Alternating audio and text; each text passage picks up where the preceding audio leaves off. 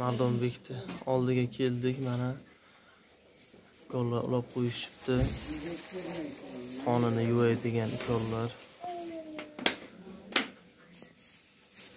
Mana keyin yotibdi. Tekshiruvlar qilishyapti. Qorinchasi tushib ketgan.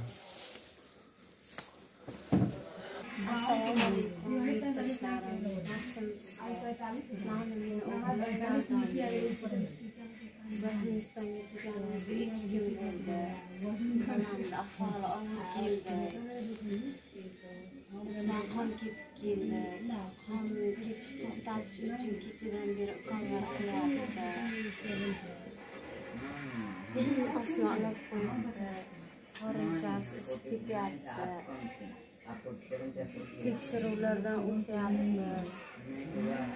Tekshir analiz analizlar topshirdi bugun tekshiruvlardan o'tamiz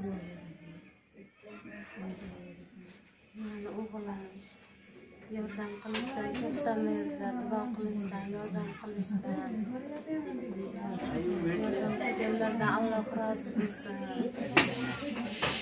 Sizlarga rahmat.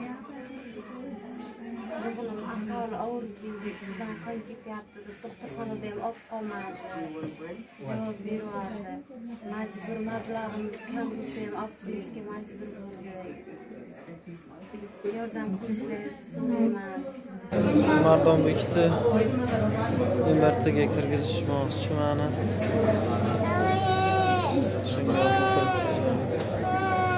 Pastga tushdik. Ayasidan ham ayasidan ham analiz qilishyapti.